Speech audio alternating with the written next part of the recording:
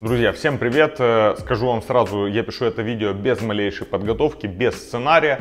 Сегодня у нас воскресенье, и, соответственно, иногда, как я говорил, по воскресеньям будут выходить вот такие разговорные видео, но только тогда, когда есть тема. Возможно, я съел тоже в свое время будет выходить воскресенье. Сегодня очень важная тема. Буквально вчера вечером меня до конца уже поломало для того, чтобы я просто взял, поставил камеру и быстренько записал это видео. Я хочу очень серьезно поговорить про культуру передвижения на велосипеде велосипеде. Когда-то у меня уже было видео про культуру передвижения на велосипеде, но это было на заре становления канала. На самом деле там все так, я до сих пор придерживаюсь того мнения, но правда в том, что основная часть моего канала после того времени только пришла ко мне, и на тот момент, по-моему, было 1015 или 20 подписчиков, поэтому я хотел бы сегодня еще раз со всеми поговорить на эту тему, возможно, еще придется. Почему я чувствую эту ответственность? Потому что я хотя бы чуть-чуть э, но все-таки думаю, что способствую популяризации велосипедного движения в Украине, а возможно и не только. Я ни в коем случае не хочу приписывать себе никаких э, наград, не хочу сказать, что я такой офигенный, именно поэтому так.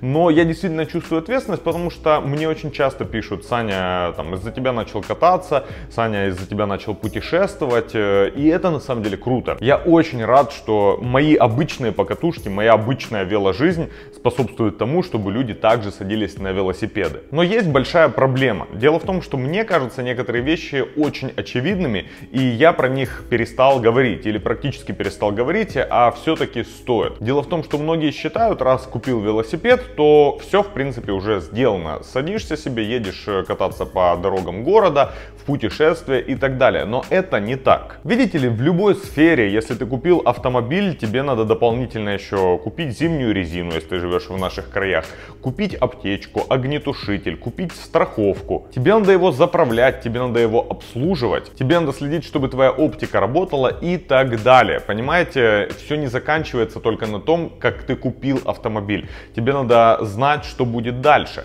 И в случае с автомобилями все достаточно очевидно, потому что это банальные вещи, о которых знают все. Почему? Потому что автомобили слишком сильно распространены у нас. И более того, если ты что-то делаешь сильно не так, к примеру, у тебя нет страховки, рано или поздно тебя накажут. А если у тебя выключены фары в темное время суток, тебя накажут сразу же. В случае с велосипедами хоть и есть законодательная база, но о ней практически никто не знает. И велосипед зачастую считается чем-то таким, знаете, ну типа по фану, поехал себе покататься. И поэтому люди не задумываются над тем, а как же надо вести себя на велосипеде, если ты выезжаешь на дорогу. Напомню, на дорогу ты должен выезжать, ты не можешь ездить по тротуарам, там где гуляют люди, маленькие дети, если тебе уже уже там больше 14 лет. По поводу 14 лет я не уверен, это прописано в правилах дорожного движения, но скорее всего все, кто смотрит мой канал, они должны ездить по дорогам на велосипедах. Конечно же, я хочу сказать, друзья, что вам просто таки необходимо купить фонарь, мигалку. Шлем это, конечно, уже на ваше усмотрение. Я всеми силами топлю за шлем. Но поймите, от шлема зависит только ваше будущее. Будьте уверены, если вы катаетесь без шлема, рано или поздно вы упадете и либо останетесь инвалидом, либо погибнете. Пусть это звучит очень громко, и я ни в коем случае никому этого не желаю, но, возможно, эти фразы до кого-то достучатся и заставят вас задуматься. Недавно в Одессе Парень с девушкой ехали на велосипедах по парковой зоне, даже не по дороге. Просто бегун задел руль велосипеда, девушка упала прямо на голову. Что там дальше было, я не знаю. Приехала скорая, лужа крови была огромная. И в любом случае я таких случаев знаю много, когда люди просто едут на небольших скоростях, падают, головой ударяются и все.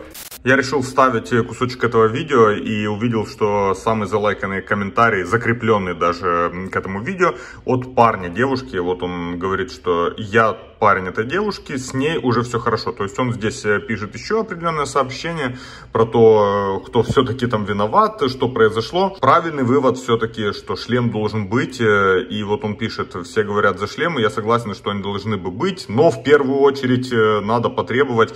Дружище, я искренне рад, что с девушкой все хорошо. Честно тебе скажу, по видео выглядело так, что это летальный исход. И я, ну прям мега рад, что написано с девушкой все нормально нормально.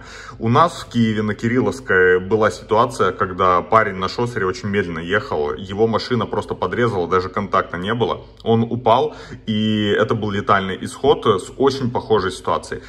В первую очередь надо не требовать от городских властей. Дружище, это и для тебя, я говорю, если ты вдруг увидишь, э, со всем уважением, без упрека. В первую очередь надо, вот, и я согласен, они должны быть, я надеюсь, что и вы будете впредь в шлемах кататься, и те, кто увидит это видео.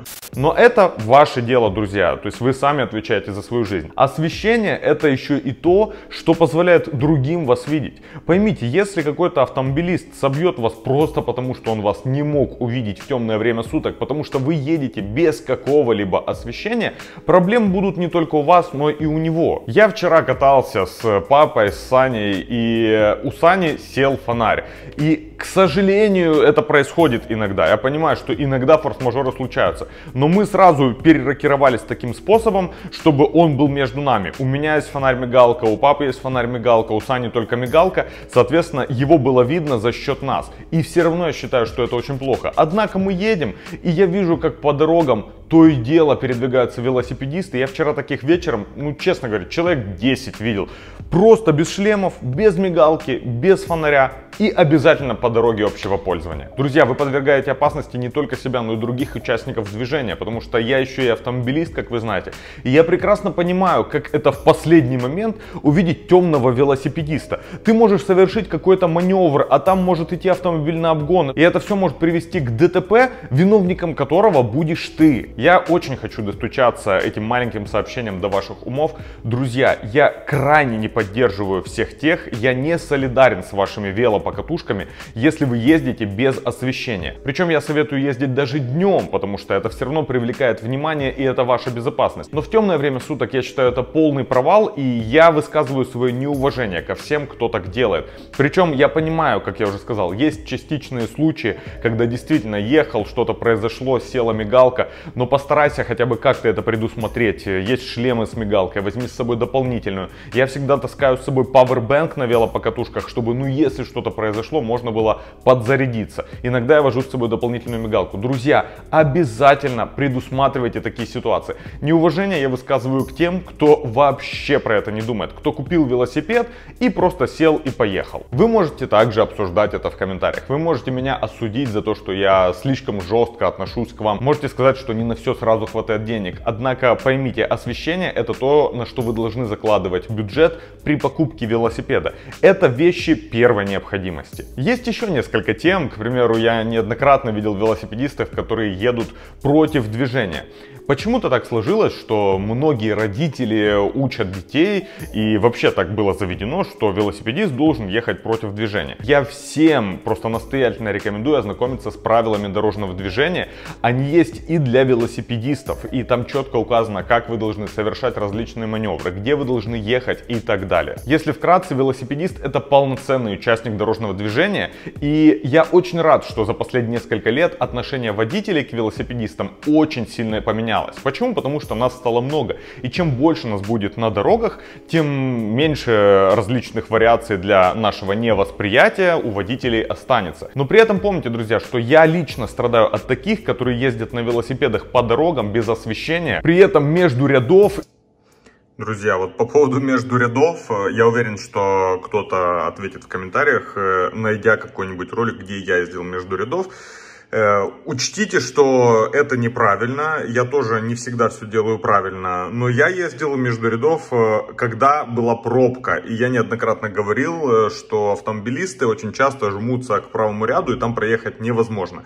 Тем не менее, это неправильно, еще раз подчеркиваю, неправильно. Я тоже ошибаюсь. И при этом водители не знают, что вы сделаете дальше. Они про вас думают как про дурачков. Естественно, я сейчас не говорю про всю свою аудиторию, я уверен, что большая часть именно те, которые ездят э, по правилам и хорошо понимают, как надо вести себя на дороге. Но иногда я еду за рулем своего джимни, и мне на голову не налазит, как велосипедист в темное время суток может ездить между рядами, когда особо и пробки нет, просто машины стоят на светофоре. А ведь поймите, сейчас загорится зеленый, и тебе надо будет перестраиваться обратно, когда машины уже поедут. Автомобилисты понятия не имеют, что тебе дальше в голову придет. Некоторые из них тебя попросту не видят, но те, которые увидели, они явно про тебя не думают ничего хорошего. Хорошего. А соответственно, они начинают так относиться и ко всем остальным велосипедистам. Ну, мол, знаете, это ж э, вот эти вот ненормальные, которые повыскакивали на дороге и типа считают, что им все можно. Нельзя. И я очень хотел бы, чтобы полиция, различные дорожные службы, которые имеют на это право, они останавливали велосипедистов, проводили беседы, штрафовали, потому что без наказательной базы одно мое видео не повлияет на все. Но я надеюсь, что хотя бы кто-то задумается про то, как правильно вести себя за рулем велосипеда. Друзья, цените свое здоровье, цените нервы и здоровье окружающих вас. Давайте будем с уважением относиться ко всем. Жду вас в комментариях. Всем хорошего воскресенья. Пока.